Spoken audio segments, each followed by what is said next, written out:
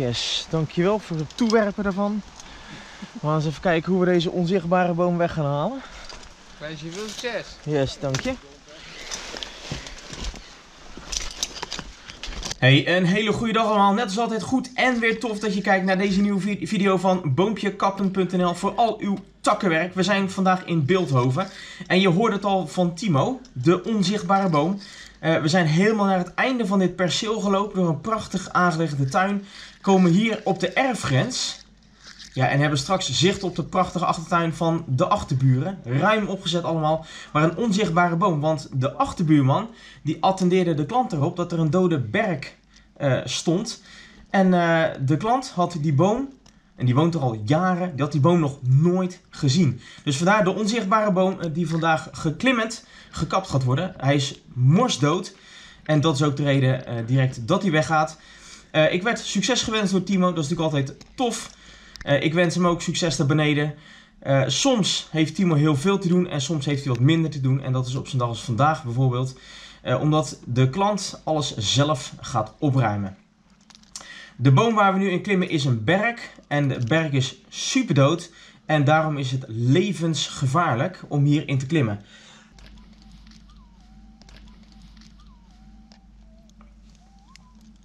Ik krijg eh, nogal eens de vraag van ja, hoe hoog kun je nou klimmen in zo'n boom? Ik zeg namelijk altijd klim hoog, zaag klein. Dat is voor iedereen fijn. Maar ja, er zijn natuurlijk grenzen aan hoe hoog, hoe ver jij kan klimmen. Want ieder hout gaat op een gegeven moment breken. En nu zijn er wat hardere houtsoorten, soorten zoals eh, beuk en eik en es.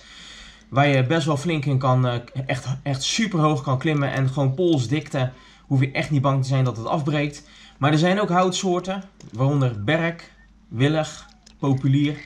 Ja, als het al zeg maar stamdiameter 10 centimeter wordt, dan moet je al een beetje gaan uitkijken. Eh, berk is erg buigzaam, dus hoe kleiner dat wordt, als je bijvoorbeeld over polsdikte hebt en je hebt er een beetje gewicht aan hangen, ja, dan is dat best wel link. Als het door gaat buigen, dan kan het ook breken. Ehm, en dan maakt het natuurlijk vandaag extra link, omdat die boom super dood is. Dat is die waarschijnlijk al jaren. Eh, er is geen blad meer te bekennen. En hoe verder we naar boven gaan, ja, hoe eigenlijk, hoe, eh, hoe slechter die wordt uiteraard. Eh, daarom vraag ik ook als mensen een dode boom hebben staan, dan vraag ik wanneer heeft hij voor het laatst in het blad gestaan. Ehm, en dan krijg ik meestal een reactie, maar de klant eh, ja, nu dus niet, omdat hij die boom nog nooit had zien staan. Maar je kunt bijvoorbeeld eh, eh, zien, bomen die bijna doodgaan, of die aan het doodgaan zijn, die stoppen altijd met blad maken in de kruin. Dus helemaal het verste van de wortels af, zeg maar. Daar beginnen ze altijd het eerst een beetje dood te raken. Dus dan kun je altijd een beetje, dat is een beetje een indicatie. Je ziet nu ook op de bast, ja, allerlei, of nou in ieder geval dat die bast een beetje loslaat. Hier zo'n tak als deze, die pak ik gewoon af, die breek ik gewoon af. Maar, kijk, zo'n stukje als dit, dat is natuurlijk hartstikke dood. Maar dood betekent niet dat je het zomaar kunt afbreken. Dat is namelijk meer dat het echt rot is. Dus eh, de boom is levend, daarna gaat hij dood en daarna gaat hij rotten. En dan wordt hij pas echt, echt heel slecht. Het probleem is alleen, je kan niet naar aan de binnenkant van de boom kijken hoe die eraan toe is. En dat is een beetje, eh, ja, dat is een beetje het linken. het lijkt net een beetje een, eh, het is eigenlijk gewoon een soort van loterij. En dat wil je natuurlijk niet als jij er eh, in hangt. Eh, ja, een beetje voor gevaar voor eigen leven, zeg maar. Ja, hoe ver kun je komen? Ik zit nu ongeveer halverwege en ik, ik moet heel eerlijk zeggen, ik begin hem al een beetje te knijpen. Ehm, ik begin hier een beetje rechts die, die, die spar te pakken en denk, ja, hoe ver kun je gaan? Je ziet die links in beeld, die, die slechte plek. Ja, je hoeft maar één slechte plek halverwege te hebben en je klimt er voorbij. Ja, en het breekt af en je hebt echt een vreselijk groot probleem. Dus daarom ben ik wel blij met die spar hier naast mij. En eh dan zul je straks ook zien dat ik die spar gebruik om daar een extern topanker in te maken. Ehm, ik ben inmiddels eh, zeg maar in, nou ja, in deze uitloper, want hij heeft eh, twee uitlopers, die uitloper eh, geklommen. En ja, ik ben een beetje enthousiast mensen, want deze video komt, even kijken, volgens mij op een, op een vrijdag uit, denk ik. Even kijken, vrijdag, vrijdag, even kijken, 15, 16, eh, de 16e denk ik. Nee, maandag. Maandag. Het is vandaag donderdag namelijk en zojuist hebben we gekeken naar de Olympische finale van de van de mannenhockeyers. En dat is wel heel erg leuk. Ik ben natuurlijk opgegroeid in de Hoekse Waard. Eh, altijd een abonnementje op de Binnenmaas gehad. Eh, heel bekend zwembad daar. Heel groot, lekker ruim. Duikplanken, glijbanen, lichtweiden. Super gaaf. En de eigenaar daarvan, of in ieder geval de, de beheerder zeg maar. De, ja, hoe moet je dat zeggen, zo van de directeur. Dat was eh, Job Blaak. En Job, dat was een hele toffe vent. En als je daar natuurlijk iedere dag komt, dan leer je elkaar ook een beetje kennen. En hij nam regelmatig ook zijn zoontje mee. Eh, dus daar heb ik vaak mee gez- gezwommen. En de zoon van Job Blaak, dat is Pirmin Blaak. En die heeft zojuist in die eh shootout series gewoon veel ballen gepakt. En eigenlijk een eh, hele grote eh, meerwaarde geweest voor het team in het winnen van Olympisch goud. Dat is natuurlijk super vet. En ik vind het ook heel erg leuk om naar te kijken hoe die jongen zo succesvol is. Ehm, je ziet eh, nu inmiddels dat ik eh, eh, gezekerd ben in de, in de gezonde spar die ernaast zit. Dat neemt een beetje risico weg. Dat betekent niet dat je niet kan vallen. Hè? Dat betekent nog steeds dat je, dat je een soort van uit moet kijken. Maar het geeft wel een beetje de zekerheid van als wat gebeurt, ja, dan, eh, eh, dan is er niet gelijk eh, heel veel aan de hand. Dan hang je waarschijnlijk eh, ongemakkelijk ergens eh, ondersteboven in een boom. Ehm, je ziet alle takjes, die kleine takjes die ik tegenkom, die maai ik gewoon met mijn hand af. Eh, niet, niet nodig om dat eh, op een of andere manier eh, af te zagen of iets dergelijks. Even kijken, ja die brengt ook gewoon af. Zo'n flinke tak als deze. Maar ja, je ziet ook wel, het is een probleem. Kijk, je zet het makkelijkst natuurlijk links op het gazon gooien. Maar dat kan niet, want ja, dan moet je daar weer het gazon gaan aanblazen en opruimen en dat soort dingen. Nu gaan we daar straks nog wel een klus doen.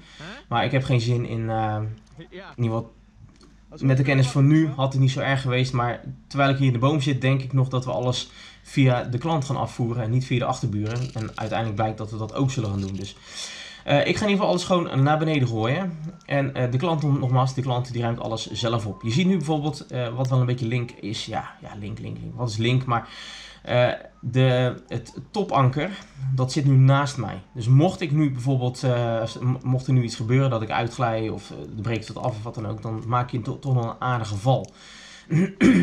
een tip die ik in ieder geval iedereen, kan geven als je hoog klimt, maar ook als je, juist ook als je in dode bomen klimt, is uh, vooral om aan takken te trekken. Dus niet, uh, niet gaan zagen. Maar als je eraan trekt, dan kun je een beetje uh, ja, aanvoelen hoe goed de takken nog zijn. En de tweede tip die ik je dan echt kan geven is niet te agressief klimmen. Dus als jij lekker enthousiast aan het klimmen bent, dan ga je heel veel heen en weer. En als je heel veel heen en weer gaat, ja, ja dan kunnen maar net een paar van die houtvezels breken. En uh, de boel stort in elkaar. Zeker op in een boom die je niet kan vertrouwen, waarvan je niet weet welke conditie die heeft. Ja, daar moet je echt zo verschrikkelijk mee uitkijken. En ik zeg jullie heel eerlijk, Um, ik ga deze boom gewoon helemaal tot in de, dat kan ik alvast verklappen, helemaal tot in de top uh, uitklimmen. Maar dat doe ik alleen omdat ik dit topanker naast mij heb in die gezonde spar. Waar ik dus ook uh, ja, eventueel aan zou kunnen afdalen of iets, of iets dergelijks. Anders denk ik niet dat ik dit gedurfd had. Ik herinner me nog een, klus van een tijd geleden. Uh, volgens mij hebben we daar geen video van gemaakt. Um, het was ook een hele dode berk. En allemaal, het was, was nat en uh, allemaal spechtengaten erin. Het was echt een zompige bende. Die heb ik uiteindelijk gewoon halverwege ja, gewoon afgezaagd. En die heb ik gewoon ja, in, de, in de borden van de klant laten vallen, zeg maar. En geen schade of iets dergelijks. Maar ik durfde gewoon niet verder te klimmen. Ik, ik, ja, ik zat gewoon in mijn broek te pissen van angst. En dat is natuurlijk niet, uh, dat is natuurlijk niet de bedoeling. Uh, je ziet nu ook, nu ik uh, gezekerd ben, dat deed ik net even, dan ga ik flink schudden. Kijk, ik geef ze flinke tikjes, kijk wat er gebeurt. Ja, gaat gewoon af. Maar dan probeer ik flink te schudden. En dan kijk ik of bijvoorbeeld in de top takjes afbreken. En dat gebeurt niet. En soms als het echt iets heel dood is, dat zul je straks ook zien met het uitzagen van de top. Ja, dan, als er iets, gewoon iets tegenaan komt of het beweegt een beetje, dan, dan breekt het al. En uh, ja, als je dus niet weet waar je zit te klimmen, kijk, die, die, die plek hier voor mij bijvoorbeeld nu, dat is gewoon één grote gapende, uh, rotte, slechte wond hier zo. Ja, dit is echt gewoon super gevaarlijk. Dus wees niet dom, uh, ga niet voor snelheid, wees verstandig. Um, het belangrijkste is dat jij en je, grondman ook natuurlijk uh, weer veilig thuis komen aan het eind van zijn dag. Kijk, nu ga ik bijvoorbeeld uh, mijn topanker denk ik verplaatsen. En dan is het Denk ik hoor. Uh, maar dan is het echt wel belangrijk om echt rustig in die top te zitten. Dus zodra je een, een ander topanker erbij hebt, dan kun je zeggen van nou weet je, we gaan hem even schudden, kijken of er wat gebeurt, of er niks afbreekt. En als er, als er niks afbreekt, dan kun je redelijk, uh, ja, nou ja, redelijk veilig gewoon verder klimmen. Dat, uh, dat vind ik altijd wel uh, ja, belangrijk voor mezelf in ieder geval. Ik ga natuurlijk steeds dat uh, topanker een beetje verhogen.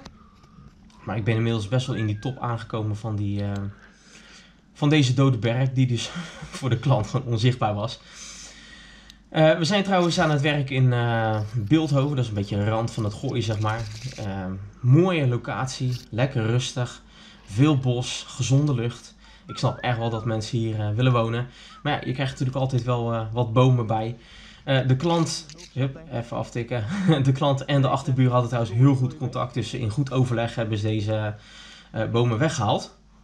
Of weg laten halen door ons, door, natuurlijk door de experts. Ik zou ook niet, niet, zo goed weten hoe je dit, zeg maar, als, als boomeigenaar, als klant, hoe je dit zelf zou kunnen doen. Veilig. Dit zou niet kunnen. Ja, misschien hoogwerk vanaf het gezond, maar dan moet je wachten totdat het uh, lekker weer is, zoals het nu wel in Nederland is. In ieder geval ten tijde dat ik dit opneem. dit was flinke tak. Ja, dan gooi ik die weer naar beneden. En die probeer ik daar natuurlijk precies daar beneden neer te gooien. Een beetje listig, of dat lukt. Ja, muziek klapt helemaal uit elkaar. Dus zo, zo gevaarlijk kan dat zijn.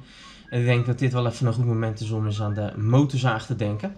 Misschien kunnen, kunnen we die even gaan starten, want ja, durven nog verder. Het voordeel van dood hout is natuurlijk ook dat... Uh... Oh, doe ik het met handzaag? Dat is misschien ook verstandiger, want met een draaiende kettingzaag ze dan dingen afbreken, dat moet je niet willen. Maar het, het voordeel van doodhout is natuurlijk dat, het, dat heel, veel, heel weinig water in zit. En als er weinig water in zit, betekent ook dat heel veel gewicht scheelt. En ieder blaadje wat hij niet heeft, scheelt ook weer gewicht. Dus dit is een flinke top die je normaal, even kijken, blijft net wankelen, die je normaal eigenlijk nooit uh, zou, zo zou kunnen afzagen. En nu omdat het zo, klein, eh, zo, zo licht is en zo dood lukt dat wel. Kijk, ik tik daar gewoon even een tak eraf. Dus een lichte tik er tegenaan is al voldoende. En ik smijt hem naar beneden op hoop van goede zegen. En jouw het land allemaal onderaan de stam. Uh, nu is eigenlijk, eigenlijk is nu het gevaar een beetje geweken. Uh, maar dat is vooral voor, voor, deze kant. Want voor die andere kant, die moet natuurlijk straks ook nog. Uh, maar ik kan nu, nu in ieder geval rustig gaan afblokken. En het uh, topanker, wat je hier ziet, dat zit nu gewoon prima. En dat zit hoog. Dus dat, ik ga nu natuurlijk naar beneden. Dan verleng ik het topanker steeds een stukje. Maar daarna ga ik die andere kant weer omhoog. En ja, dan heb je eigenlijk direct profijt van jouw hoge topanker. Ik laat de motorzaag natuurlijk even rustig warm draaien. Even een beetje gas geven hier en daar. We komen al bij een klus vandaan. Hè. Dat was die klus in het uh, verre oosten. Nog verder dan Enschede. Dus de motorzaag is niet helemaal koud. maar wel afgekoeld. En nou ja, het gaat er weer als boter doorheen. Dus dat is natuurlijk altijd lekker. Um, ja, ik denk niet dat je het heel goed hoort op de video, maar uh, omdat ik natuurlijk het geluid een beetje demp om die uh, voice over te kunnen doen. Maar uh, Timo, die, je, je, moet het zo zien, je hebt de erfafscheiding, uh, hier links bij mijn hand, zeg maar, daar, daar beneden, die, dat coniferenrijtje. Dan heb je hier rechts van mij, en onder andere deze berg, een partij bomen als, als, als barrière, zeg maar, als buffer tussen de twee tuinen. En dan heb je het speelgedeelte. En daar staan de klant en Timo. Maar iedere keer als ik iets naar beneden gooi, dan roep ik even uh, komt hij of uh, weet ik veel, zoiets. Uh, of pas op, hij is onderweg of dat soort dingen. het kan, ik gooi hem wel naar beneden, maar het kan zijn dat hij ergens op een, op een, op een tak stuitert en zo de tuin in, in, in, verdwijnt. Nou, deze gooi ik gewoon letterlijk voor Timo zijn voeten, omdat ik hem nog even kon zien. maar zo'n stukje stam wat je naar beneden gooit, dat kan zomaar een, rare richting opgaan als, als het er, ergens tegenaan stuit, stuitert. En ja, als Timo of de klant daar dan uh, onwetend staat, of dat ze niet op staan te letten, dan schrikken ze zich helemaal wild. In het slechtste geval krijgen ze een ding tegen zich aan. Dat is natuurlijk helemaal niet wat je wil. Uh, dus vandaar altijd even aangeven naar uh, nou in ieder geval de mensen onder je. Zeker als ze het niet kunnen zien, zoals in deze situatie even laten weten dat er iets, uh, dat iets aankomt. Um, de reden dat ik probeer, kijk hier kijken waar die is en gooi ik het even naar hem toe. De reden dat ik probeer alles toch zo ver mogelijk in de tuin te gooien is de klant zelf. Want anders moet hij alles uit die bosjes gaan lopen plukken. Dus uh, voor hemzelf is dat het prettigst, hoeft hij minder ver te lopen. Hij gaat dit hout allemaal kort zagen en ik denk dat hij het gaat, uh, gaat, gaat verbranden. Wel een leuk, leuk trouwens iets wat hier gebeurde, want ja, niet in deze video, maar... Um, wij zijn ooit benaderd door uh, de naaste buren van de klant, zeg maar, waar, waar we nu aan het werk zijn. Um, en ik dacht eigenlijk dat, dat, dat zij contact met mij op hadden genomen. Dus uh, ik, uh, ik zeg tegen Timo, nee, uh, we moeten daar wezen. Dus nou, ik zet de bus daar stil voor die oprit. En ik loop daar de tuin in en ik zie daar iemand lopen. Maar dat was niet de klant. of of niet, niet die klant die ik voor ogen had. Dus ik dacht, dat is, misschien een werker of, eh, of een ovenier of weet ik veel wat. Dus eh, die man komt naar me toe en zegt, eh wat moet dat? ja, ik zeg, ik kom jullie bomen kappen. Hij zegt, wat? Boom kappen? Nee, dat ken helemaal niet dit, dat. Wat bleek nou, waren die mensen dus eh, verhuisd. Dus eh, er waren nieuwe bewoners, ja, en die, eh, die kenden mij natuurlijk helemaal niet. En ik kende hun ook niet. En dus die hadden zoiets van, eh gast, wat doe jij ineens in onze achtertuin? Want het is natuurlijk super landelijk hier zo. Het is niet dat je in een rijkshuis aan het werk bent. Eh, allemaal villa's. Dus ja, mensen zijn heel erg op hun privacy gesteld. Die dachten natuurlijk van, wat gebeurt hier ineens? Wat zijn dat voor, voor vreemde gasten? Dus dat was wel een beetje bijzonder. Dus dan heb ik daarna die klant, zeg maar, ja, die daar eerst woonde, even geappt en het verhaal verteld. Die kon er ook kostelijk om lachen. Het voordeel daarvan trouwens wel was dat, nou ja, we hebben gelijk even kennis gemaakt. En eh, ja, die man kende ons helemaal niet. En nu wel. Dus eh, hij weet wat we doen. Hij heeft ons telefoonnummer. Dus wellicht als er bomenwerkers in de toekomst, dat, eh, dat we alsnog bij die buurman hier, nou vanuit dit oogpunt zeg maar rechts en dan weer rechts, dat we daar nog een keertje terechtkomen. Eh, maar dat in ieder geval voor hier. Dus we waren daar dus ja, zomaar die tuin binnengestampt. En die, ja, we waren heel enthousiast. En we dachten, hé, hey, hier gaan we werken. Maar bleek niet helemaal zo te zijn. Je ziet hier dat ik de fliplijn binnenom vastmaak. Zodat ik de klimlijn niet eh, binnen de klimgordel heb lopen. Dat is altijd, eh, in ieder geval vind ik het meest prettig. Zeker als je tak moet uitlopen en dergelijke. Ik ben inmiddels, inmiddels overgestapt eh, naar eh, ja, de andere kant. Maak nog even deze af. Het is altijd zo prettig om dit zo laag mogelijk te doen. Zodat je met het eh, ja, naar beneden gooien van takken en ander stamhout er zo min mogelijk eh, last van hebt. Maar nu ga ik toch wel eh, omhoog klimmen, denk ik. Ga eh, ik ga verder naar beneden. Oké, dat is helemaal, helemaal slim voor mij zeg. Hey. Ehm, nou ja, eh, de, even hoor, de 201T die ik hier gebruik, de, kettingzaag, dat vind ik echt een super fijne zaag. En eh, dat heeft twee redenen. Eén is natuurlijk lekker licht. Je kunt hem met twee handen bedienen, ook al wordt het niet geadviseerd. Hij is natuurlijk wel gewoon precies zo ontworpen. Ehm, het eh, fijne hiervan vind ik ook dat hij lekker zuinig is. Dus meestal met één tankje kun je, eh, ja, de- laat zeggen 90% van de bomen in Nederland kun je gewoon met één tankje kun je dat doen. eh, totdat je het dikke hout tegenkomt. Dus ik hoef eigenlijk in de boom nooit, nooit te tanken. In tegenstelling tot bijvoorbeeld als je ja, flink aan het werk gaat met zo'n 661 bijvoorbeeld. En een flinke stam op maat zagen. Ja, dan kun je maar zeker weten dat je even wat, wat benzine bij hebt. Eh, we gaan nu inmiddels eh, weer eh, omhoog klimmen naar die andere kant. De motorzaag is natuurlijk lekker warm, dus ik verwacht dat ik straks, ik weet het niet meer zo goed, het is al een tijdje terug dat we deze klus hebben uitgevoerd. Maar ik verwacht dat we straks ook met die, met die motorzaag wat aan de gang gaan. Ehm, als jij nou ehm, hovenier bent en je hebt een klant die bijvoorbeeld vraagt voor je, zou jij misschien een boom willen kappen? Denk dan niet van, oh, een boom, ik klim er even in of eh, ik zet even een hoogwerker neer of wat dan ook. Eh, ik werd, eh, even wij zijn natuurlijk vanmorgen, dat is voorafgaand aan deze klus, in, in Enschede geweest. En de jongen die daar die klus had aangenomen, die gaf aan dat het goedkoper was om mij vanuit de Randstad helemaal naar Enschede te laten komen, de boom te laten kappen en weer terug te laten rijden. Dat, dat, dat was goedkoper, of minder duur, laat ik het zo zeggen. Minder duur dan het huren van een flinke eh hoogwerker die daarbij eh eh, ingezet moest worden. En nou, dat, dat verbaasde mij enigszins. Maar dat laat natuurlijk wel zien hoe, hoe competitief je als klimmer ja, eigenlijk overal terecht kunt. En, en eh bomen deze kun je natuurlijk via de tuin van de achterburen, hier rechts op het gazon, zou je die op, een- op een of andere manier kunnen afbreken.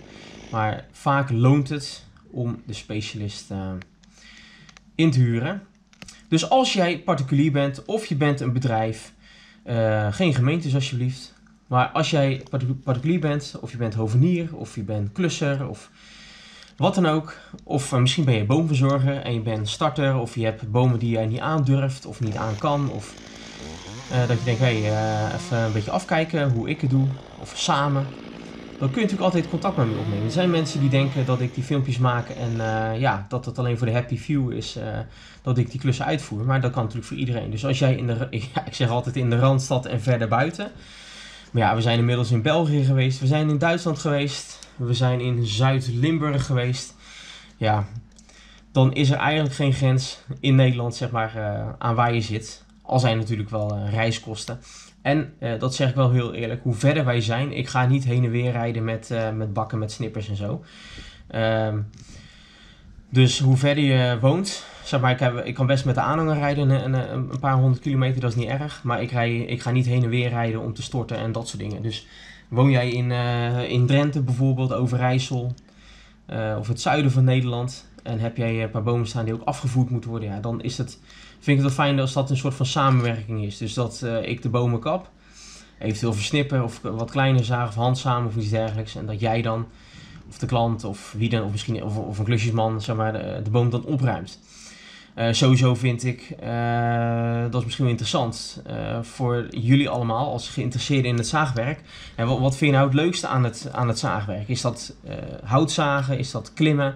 Is dat een boom om laten vallen? Of is dat opruimen? Want nou, ik, zal maar, ik zal zeggen wat ik persoonlijk vind. Persoonlijk heb ik echt een takkenhekel aan, aan opruimen. Benden maken vind ik geen probleem, maar opruimen ben maar blij dat, uh, dat Timo erbij is altijd. Ik vind het natuurlijk altijd gezellig dat hij erbij is. En uh, zoals Gerrit van Willigert laatst geleden ook zei, hij wordt steeds zelfstandiger. En dat is ook zo. ik kan steeds meer aan hem overlaten. En dat is echt super fijn, want daar heb je juist als boomverzorger in de boom profijt van. Um, ik zou dan ook iedereen aanraden om, uh, om een mannetje te vinden bij jou in de buurt, zeg maar, die, uh, die wil werken of die het, die het werk interessant vindt of die er interesse in heeft.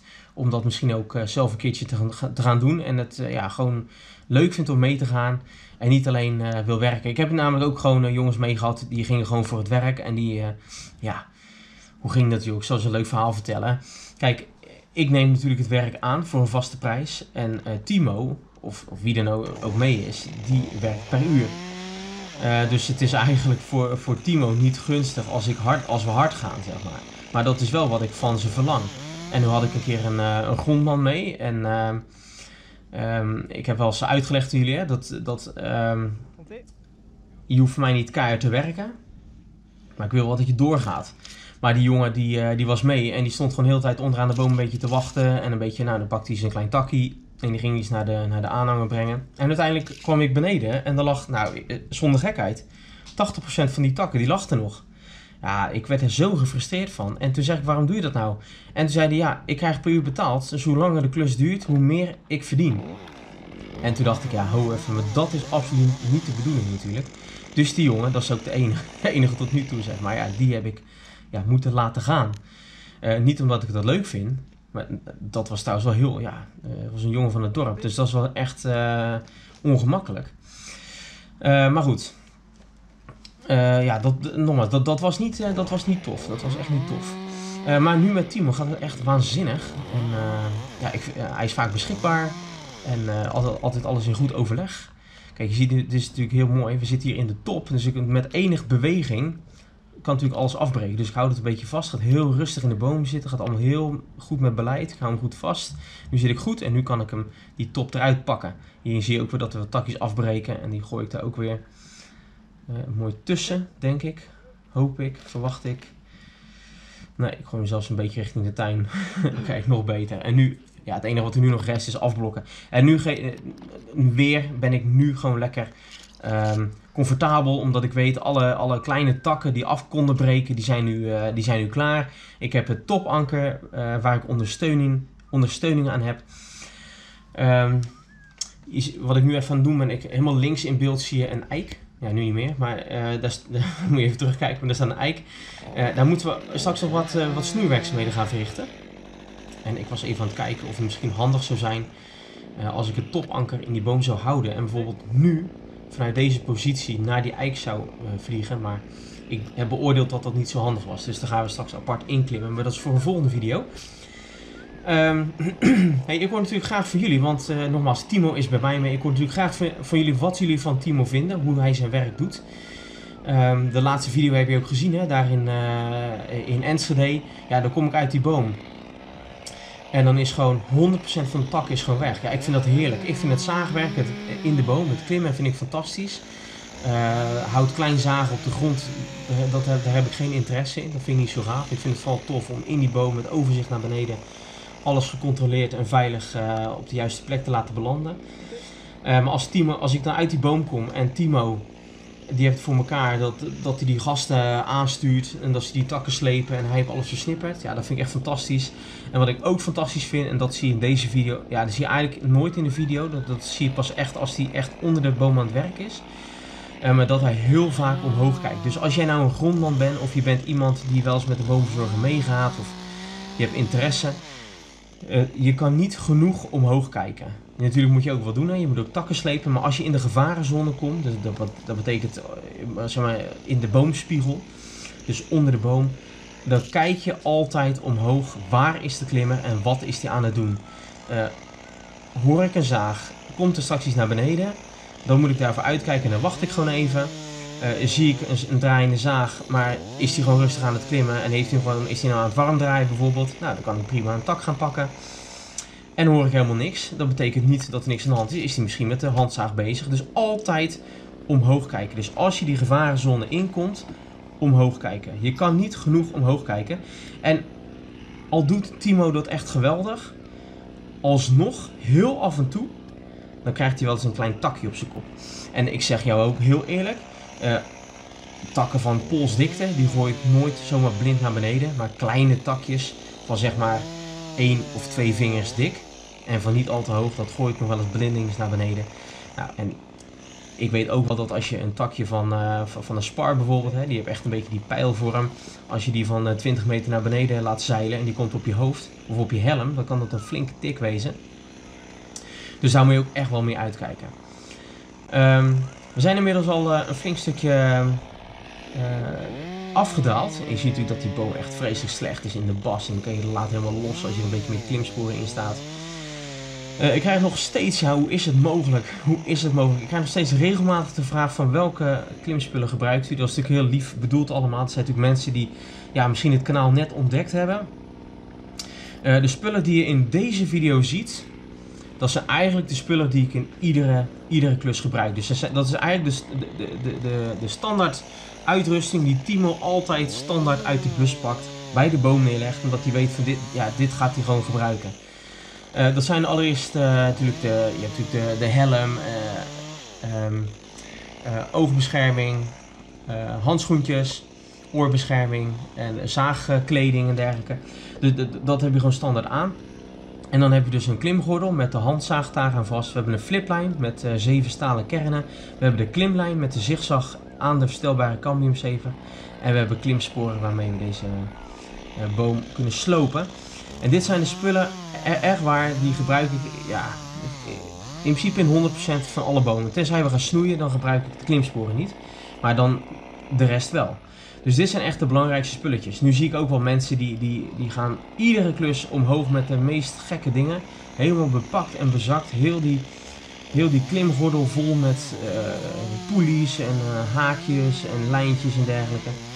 Uh, dat is natuurlijk heel verstandig, want je komt eens in situaties ja, waarin dat handig kan zijn.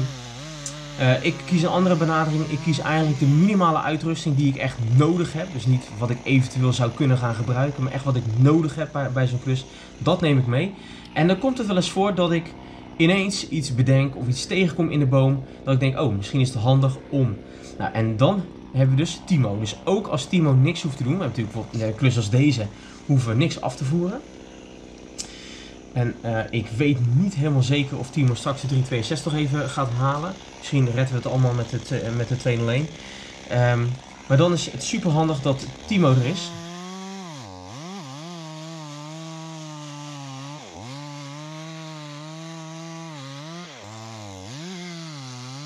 Dat gaan jullie wel in de volgende video zien. Dan gaan we een eik snoeien. Dat is dus die eik die hiernaast staat. Uh, op, uh, op het perceel van de buren is dat. Overhangende takken weghalen. Maar daarover meer in de volgende video. Maar dan besluit ik ineens om een tak te gaan speedlijnen bijvoorbeeld. Ja, dat neem ik natuurlijk niet mee standaard in de boom. Dus dan stuur ik Timo even, weg om de vanglijn te halen. Om slings te halen. Of ik laat hem even een ladder weghalen of iets dergelijks. Dus ook als ik niks hoef af te voeren, zoals op deze klus, ja, dan neem ik hem altijd mee. Het is gewoon uit veiligheid, maar ook uit gemak. En ik vind ook dat als je iemand meeneemt om uh, te buffelen, dan moet je hem ook gewoon, vind ik, gewoon constant meenemen, ook als er wat minder te doen is. En ja, ik vind het inmiddels ook, dat was in het begin was het even een soort van wennen, maar inmiddels vind ik het ook gewoon gezellig als Timo erbij is. Ehm, wat ook fijn aan Timo is, op een of andere manier, net als ik, is hij nooit ziek. Een beetje afkloppen natuurlijk, want het kan zomaar gebeuren. Maar ik zie dat vooral als een zegen, dat ik eh, gezegend ben met een eh, eh, gezond lichaam. Ehm, en Timo heeft dat eh, blijkbaar ook. En hij vindt het ook altijd geweldig. Ik spreek zijn ouders regelmatig. En dan vraag ik wel eens veel, hoe gaat het met Timo? Eh, vindt hij het nog leuk? Nee, hij vindt het fantastisch. En iedere keer, het maakt niet uit eh, hoe laat we afspreken. Eh, meestal bijvoorbeeld om, eh, om, eh, ja, half acht of zo, weet je, dat we op zaterdag weggaan. Maar vanmorgen die klus in, eh, in Enschede had ik afgesproken om, om er om acht uur te zijn. Het was een uur en drie kwartier rijden. Toen zijn we gewoon zes uur weggegaan. En als jij om zes uur weggaat, dan moet je half zes eruit. Ja, dus Timo had eh, kwart over vijf een wekker gezet. Kijk, en eh, hij is inmiddels 17. Maar hij is er altijd. Ik heb nog nooit, nog letterlijk nooit in de afgelopen, nou hoe lang werkt hij nou bij mij? Misschien vijf jaar. Ik heb nog nooit op hem moeten wachten. En hij ook nog nooit op mij. En dat vind ik echt wel, ja, dat vind ik eigenlijk gewoon echt, gewoon top. Ik vind het natuurlijk fijn als jij eh, goed kan werken onderaan de boom. Maar ja, gewoon dat je altijd beschikbaar bent. Ik heb ook wel eens uh, grondmannen gehad die, die, die regel- regelmatig ziek waren. Ja, als jij een, een flinke klus op de planning hebt staan. Kijk, een klus is vandaag, zou je eventueel hè, met die klant erbij, kun je die gewoon in je eentje uitvoeren. Liever niet, maar zou eventueel kunnen. Maar ja, als jij eh, flink moet afvangen of je moet bijvoorbeeld een boom kappen en dan nog eh ver- kleinzagen, verwerken en afvoeren. Ja, dan ben je in je eentje. Dan, eh, dan ga je drie keer zo langzaam, zeg maar. Of met grondman, zeg maar, ga je twee keer zo snel. Ehm, dus daarom vind ik het altijd gewoon top dat die, eh, dat die team mee is. En eh, nou ja, er zit ook een, wel natuurlijk een, veiligheidsdingetje bij. Ik heb ook altijd tegen Timo, eh, dat herhaal ik ook regelmatig. Als er wat gebeurt, hij heeft ook altijd een telefoontje in zijn zak, die van mij of die van hemzelf. Maar als er wat gebeurt, dan is hij degene die het waarschijnlijk als eerste door heeft. En nou ja, ik doe heel af en toe wel eens klusjes alleen. Eh, kleine klimklusjes of uh, stronkenvrees en dat soort dingen. Maar dan is vaak de klant er wel weer bij bijvoorbeeld. Dus dan kan ik die eventueel installeren. Maar in principe is Timo dan de eerste die eh, 112 zou kunnen bellen of actie kan ondernemen of hulp kan halen of de klant kan halen of wat dan ook. Eh, daarin verwacht ik natuurlijk niet dat hij een volleerde EHBO'er is en eh, mij kan reanimeren of iets dergelijks. Eh, maar met hem erbij geeft me dat in ieder geval gewoon een prettig gevoel. En eh, met z'n tweeën werkt gewoon prettiger dan alleen omdat je gewoon twee keer zo hard gaat. Als jij bijvoorbeeld, eh, ik noem maar wat, 100, eh, 100 takken naar, beneden gooit. En eh, Timo eh, die brengt er vast 60 naar voren. Ja, dan hoef je daarna allebei nog maar 20 in plaats van 40. En het is, ja, dat vind ik echt super lekker. Kijk, hier altijd dode hout wat naar beneden is gevallen en uit elkaar is gespat. Ik vind het gewoon lekker dat als jij, en dat herken jij misschien ook wel als je aan het, lekker aan het klussen bent.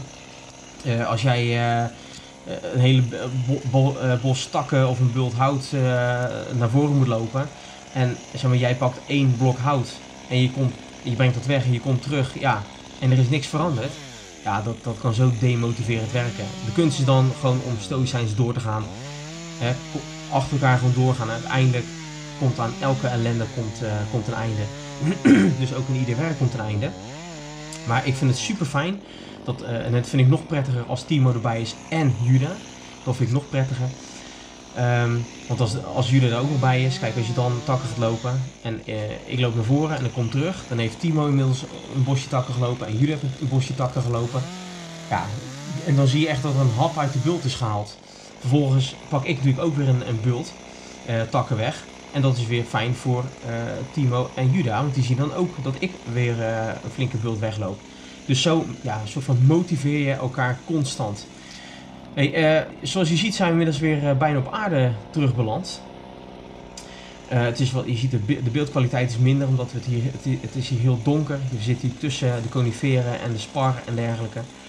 Ehm, even, een, even een tipje wat er nu gaat gebeuren. Je bent natuurlijk heel verleidelijk om gewoon door te gaan met zagen.